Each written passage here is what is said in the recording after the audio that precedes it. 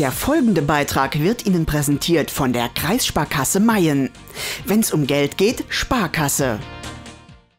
Im DLRG Bildungszentrum in Lehmen stand vor kurzem eine ganz besondere Weinprobe auf dem Programm. Aus 23 verschiedenen Rieslingweinen der Untermosel sollte der Sparkassenriesling 2014 ermittelt werden.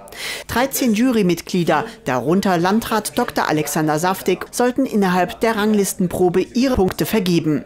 Der Wein mit den meisten Punkten wird im Anschluss zum Sparkassenriesling 2014 gekürt. Wir sind stolz auf unsere Erzeugnisse, wir sind stolz auf unsere Winzer. Ganze.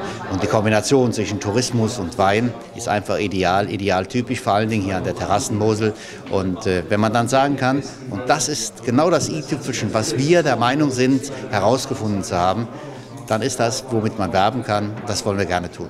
In der dritten Runde der Probe, dem Finale, wurde dann das endgültige Urteil gefällt. Hierbei schaffte es der Hatzenporter Kirchberg Riesling Hochgewächs Lieblich des Brunnenhofes Ibald aus Hatzenport auf den ersten Platz und holte somit den Titel Sparkassen Riesling 2014. Der Gewinnerwein äh, lebt davon, dass 500 Flaschen äh, von der Kreissparkasse erworben werden und dann als S-Wein des Jahres, also Sparkassenwein des Jahres von der Kreissparkasse in Mayen äh, verteilt werden, gemeinsam zu Geschenken gemacht werden. Das heißt, wir wollen hier mit Werbung machen. Werbung für unsere Region, für unseren Wein, für unsere Winzer.